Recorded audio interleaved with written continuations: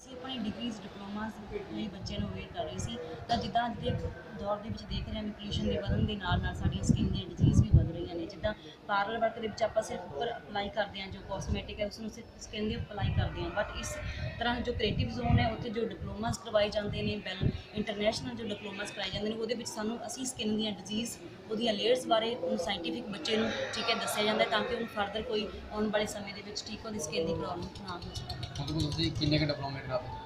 Sir ਸਾਡੇ ਜਿੱਦਾਂ ਤੁ- ਤੁਹਾਨੂੰ ਤੁਸੀਂ ਜਾਣਦੇ ਹੀ ਹੋਵੋਗੇ ਸਾਡੇ ਜਿਹੜੇ ਐਡਸ ਵਗੈਰਾ ਚੱਲਦੀਆਂ ਨੇ ਸਾਡੇ ਤਿੰਨ ਅਹ, ਸਾਡੀਆਂ ਅਕੈਡਮੀਜ਼ ਨੇ ਜਿਹੜੀਆਂ ਹੈੱਡ ਆਫਿਸ ਸਾਡਾ ਚੰਡੀਗੜ੍ਹ ਹੈ, ਜੀਤਪੁਰ ਹੈ, ਮੋਹਾਲੀ ਹੈ ਬਟ ਹੁਣ ਮਲੇਰਕੋਟਲਾ ਦੇ ਵਿੱਚ ਜੋ ਸਾਡੀ ਬਿਊਟੀ ਅਕੈਡਮੀ ਹੈ ਵੈਲਨੈਸ ਅਕੈਡਮੀ ਹੈ, ਇਹਨੂੰ ਪੰਜਾਬ ਦੀ ਸਭ ਤੋਂ ਵੱਡੀ ਬਿਊਟੀ ਅਕੈਡਮੀ ਦਾ ਅਵਾਰਡ ਪੰਜਾਬ ਗਵਰਨਮੈਂਟ ਵੱਲੋਂ ਮਿਲਿਆ। ਇਹ ਨਾਲ ਸੰਬੰਧ ਰੱਖਦੀ ਹੈ, ਜਿੱਦਾਂ ਐਨਡੀਸੀ ਦੇ ਵੀ ਦੇ ਜਿੱਦਾਂ ਨੈਸ਼ਨਲ ਡਿਪਲੋਮਾ ਠੀਕ ਹੈ ਕਾਉਂਸਲਿੰਗ ਡਿਵੈਲਪਮੈਂਟ ਦੀ ਗੱਲ ਅਸੀਂ ਕਰਦੇ ਹਾਂ। ਤਾਂ ਜੋ ਬੱਚਿਆਂ ਨੂੰ ਸਰਟੀਫਿਕੇਟ ਪ੍ਰੋਵਾਈਡ ਕੀਤੇ ਜਾਂਦੇ ਨੇ, ਉਹਦੇ ਵਿੱਚ ਜਿੱਦਾਂ ਕਾਸਮੈਟੋਲੋਜੀ ਦੇ ਨਾਲ, ਜੋ ਸਾਡਾ ਮੇਨ ਮੋਟਿਵ ਕਾਸਮੈਟੋਲੋਜੀ ਦੇ ਨਾਲ ਅਸੀਂ ਉਹਨੂੰ ਕੈਰੀ ਔਨ ਕੀਤਾ ਹੋਇਆ। ਕਾਸਮੈਟੋਲੋਜੀ ਕੀ ਹੈ? ਇਹਦੇ ਵਿੱਚ ਇਹ ਦੱਸਣਾ ਚਾਹਾਂਗੀ ਮੈਂ। ਕਾਸਮੈਟੋਲੋਜੀ ਇੱਕ ਆਰਟ ਹੈ ਸਾਇੰਸ ਹੈ ਜਿਹਦੇ ਵਿੱਚ ਆਰਟ ਦੇ ਨਾਲ ਸਿਰਫ ਅਸੀਂ ਮੇਕਅਪ ਹੈ ਨੇਲ ਹੈ ਠੀਕ ਹੈ ਨੇਲ ਪੇਂਟ ਕਿੱਦਾਂ ਅਪਲਾਈ ਕਰਨੇ ਦੀ ਕੁਝ ਵੀ ਬਟ ਜੋ ਅਸੀਂ ਸਾਇੰਸ ਦੀ ਗੱਲ ਕਰਦੇ ਹਾਂ ਤਾਂ ਉਹਦੀ ਸਾਇੰਟੀਫਿਕ ਤੌਰ ਤੇ ਵੀ ਕਿੱਦਾਂ ਦੀ ਤੁਹਾਡੀ ਸਕਿਨ ਨੂੰ ਕੀ ਰਿਕੁਆਇਰਮੈਂਟ ਹੈ ਕਿੱਦਾਂ ਦੇ ਤੁਹਾਡੀ ਸਕਿਨ ਆਇਲੀ ਹੈ ਜਾਂ ਜੋ ਵੀ ਹੈ ਉਹਨੂੰ ਸਾਇੰਟੀਫਿਕ ਵੇਦ ਨਾਲ ਜੋੜ ਕੇ ਅਸੀਂ ਬੱਚਿਆਂ ਨੂੰ ਅਵੇਅਰ ਕਰਨ ਦੀ ਕੋਸ਼ਿਸ਼ ਕਰ ਰਹੇ ਹਾਂ ਤੇ ਨਾਲ ਨਾਲ ਅਸੀਂ ਬੱਚਿਆਂ ਨੂੰ ਉਦਾਂ ਦੇ ਸਕਿੱਲ ਵਰਕ ਸਿਖਾ ਰਹੇ ਹਾਂ ਤਾਂ ਕਿ ਉਹ ਆਪਣੇ ਆਉਣ ਵਾਲੇ ਸਮੇਂ ਦੇ ਵਿੱਚ ਠੀਕ ਹੈ ਇਹ ਆਪਣੀ ਸਕਿਨ ਤੋਂ ਜਾਣੂ ਹੋ ਸਕਣ ਉਹਦੀਆਂ ਕੀ ਕੀ ਡਿਜ਼ੀਜ਼ ਹੋ ਸਕਦੀਆਂ ਨੇ ਕਿੱਦਾਂ ਦੇ ਉਹਨੂੰ ਠੀਕ ਹੈ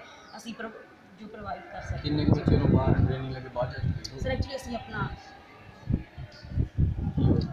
ਸਰ ਤੁਸੀਂ ਨੇ ਮੁਰਾਰੀ ਸਾਹਿਬ ਨੂੰ ਕਦੇ ਕਿਹਾ ਸੀਗਾ ਤੇ ਉਹ ਬਸ ਹਾਂਜੀ। ਅਹ ਮੇਰਾ ਟੌਪਿਕ ਸੀਗਾ ਸਟਰਗਲ ਬਾਰੇ। ਸਟਰਗਲ ਜਿਹੜੀ ਪ੍ਰਣਾਲੀ ਹੈਗੀ ਹੈ, ਆਪਣਾ ਜਿਹੜੀ ਕ੍ਰੌਪ ਹੁੰਦੀ ਹੈ ਕ੍ਰੌਪ ਤੋਂ ਲੈ ਤੋਂ ਜਿਹੜਾ ਬਾਕੀ ਬਚ ਜਾਂਦਾ ਫੀਲਡ ਦੇ ਵਿੱਚ, ਉਹ ਸਟਰਗਲ ਹੁੰਦੀ ਹੈ, ਪ੍ਰਣਾਲੀ ਹੁੰਦੀ ਹੈ। ਪ੍ਰਣਾਲੀ ਦਾ ਜਿਹੜਾ ਮੋਸਟ ਕਾਮਨ ਤਰੀਕਾ ਹੈਗਾ, ਉਹਨੂੰ ਡਿਸਪੋਜ਼ ਆਫ ਕਰਨ ਦਾ ਉਹ ਬਰਨਿੰਗ ਹੈਗਾ ਬਰਨਿੰਗ ਦੇ ਨਾਲ ਜਿਹੜੇ ਜਿੱਥੇ ਇੱਕ ਫਾਰਮਰ ਨੂੰ ਇਹ ਬਰਨਿੰਗ ਬਹੁਤ ਸੌਖਾ ਤਰੀਕਾ ਹੈਗਾ ਪਰ ਲੇਕਿਨ ਨਾਲ ਨਾਲ ਉਹ ਜਿਹੜੀ ਧਰਤੀ ਮਾਂ ਹੈ, ਉਹ ਉਹਦੇ ਵਿੱਚੋਂ ਬਰਨਿੰਗ ਦੇ ਨਾਲ ਨਾਲ ਕੁਝ ਨਿਊਟ੍ਰੀਐਂਟਸ ਹੁੰਦੇ ਨੇ, ਖਤਮ ਹੋ ਜਾਂਦੇ ਨੇ, ਜਿਹਦੇ ਨਾਲ ਕਿ ਫਸਲ, ਅਗਲੀ ਫਸਲ ਜਿਹੜੀ ਹੈਗੀ ਹੈ, ਉਹ ਨਹੀਂ ਵਧੀਆ ਤਰੀਕੇ ਨਾਲ ਗਰੋ ਨਹੀਂ ਕਰ ਸਕਦੀ। ਕਹਿੰਦਾ ਮਤਲਬ ਹੈ ਧਰਤੀ ਦੀ ਜਿਹੜੀ ਫਰਟਾਈਲ ਪਾਵਰ ਹੈ, ਉਹ ਉਪਜਾਊ ਸ਼ਕਤੀ ਹੈ, ਬਹੁਤ ਜ਼ਿਆਦਾ ਘਟ ਜਾਂਦੀ ਹੈ। ਦੂਸਰਾ, ਜਦੋਂ ਸਟਰਗਲ ਬਰਨਿੰਗ ਦੇ ਜਦੋਂ ਅਸੀਂ ਪਰਾਲੀ ਸੁਣਦੇ ਹਾਂ ਤਾਂ ਬਹੁਤ ਹੀ ਜ਼ਿਆਦਾ ਗੈਸ ਵਗੈਰਾ ਰਿਲੀਜ਼ ਹੁੰਦੀਆਂ ਨੇ ਕਿਉਂਕਿ ਟੋਟਲੀ ਬਰਨਡ ਨਹੀਂ ਹੁੰਦੀ ਹਾਫਵੇ ਬਰਨਡ ਹੁੰਦੇ ਹੈ, ਜਿਹਦੇ ਨਾਲ ਮੀਥੇਨ ਵਗੈਰਾ ਹਾਈਡਰੋਕਾਰਬਨ ਰਿਲੀਜ਼ ਹੁੰਦੇ ਨੇ, ਜਾਂ ਅਰੋਮੈਟਿਕ ਆਕਸੀਜਨ ਰਿਲੀਜ਼ ਹੁੰਦੇ ਨੇ ਕਾਰਬਨ ਟੈਟਰਾਬਲੇਟ ਕਾਰਬਨ ਡਾਈਆਕਸਾਈਡ ਵਗੈਰਾ ਜਿਹੜੀ ਕਿ ਬਹੁਤ ਹੀ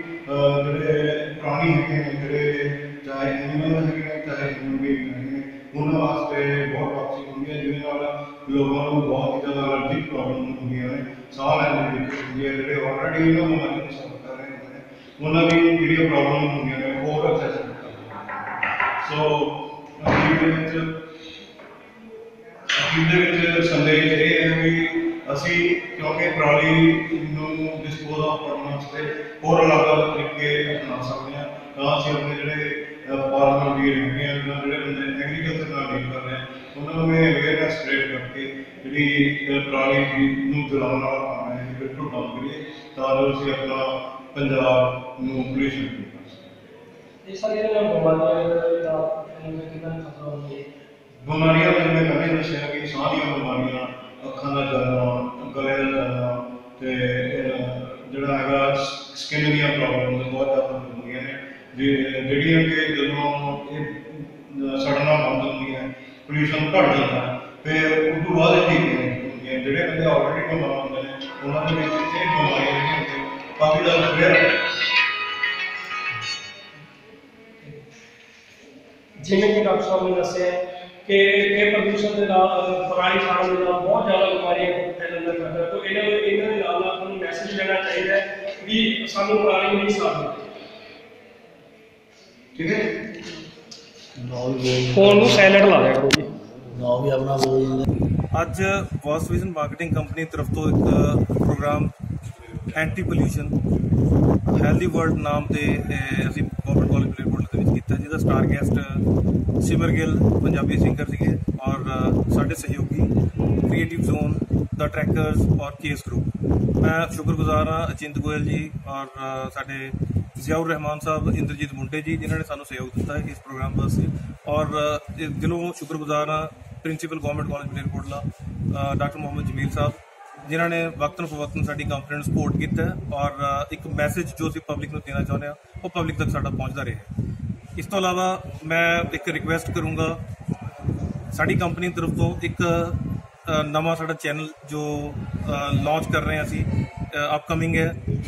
ਇਨ ਪ੍ਰੋਸੈਸ ਹੈ, ਜਿਹੜਾ ਵੈਬ ਚੈਨਲ ਹੋਏਗਾ ਵਾਸਟ ਵਿਜ਼ਨ ਅਪਡੇਟਸ ਸਾਡੇ ਵਿਊਅਰਸ ਔਰ ਇਸ ਚੈਨਲ ਦੇ ਮਾਧਿਅਮ ਦੇ ਨਾਲ Punjab time Punjab news times ਦੇ ਜੋ ਮਾਧਿਅਮ ਹੈ ਉਹਦੇ ਨਾਲ ਮੈਂ ਰਿਕੁਐਸਟ ਕਰੂੰਗਾ, ਇਹਨਾਂ ਦੇ ਵੀ ਸਾਰੇ ਵਿਊਅਰਸ ਨੂੰ ਕਿ ਸਾਡਾ ਚੈਨਲ ਸਬਸਕ੍ਰਾਈਬ ਕਰਨ ਲਾਈਕ ਕਰਨ, ਉਹਨਾਂ ਨੂੰ ਨਵੀਂ ਔਰ ਵਧੀਆ ਅਪਡੇਟਸ ਮਿਲਦੀ ਰਹਿਣਗੀ ਸਾਡੀ ਕੰਪਨੀ ਦੀ ਤਰਫ ਤੋਂ, ਸਾਡੇ ਸਪੋਰਟਰਸ ਦੀ ਤਰਫ ਤੋਂ ਔਰ ਸਾਡੇ ਸਹਿਯੋਗੀਆਂ ਦੀ ਤਰਫ ਤੋਂ ਜੋ ਜੋ ਐਕਟੀਵਿਟੀਜ਼ ਅਲੱਗ-ਅਲੱਗ ਜਗ੍ਹਾ ਦੇ ਉੱਪਰ ਹੁੰਦੀਆਂ ਰਹਿੰਦੀਆਂ। Thank you very much thank